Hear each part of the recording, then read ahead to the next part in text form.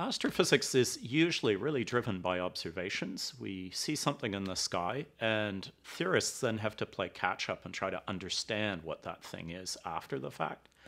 But there are one or two things that theorists have predicted should be there, but we haven't seen. And one of the most interesting ones, I think, is dark matter. So there's a prediction that around all the visible structure we see, uh, the galaxies, the stars, the planets orbiting around those stars, that all those visible things are brought together and bound and organized and allowed to exist by the presence of much larger dark matter structures. And that's, that's the thing I'm really interested in.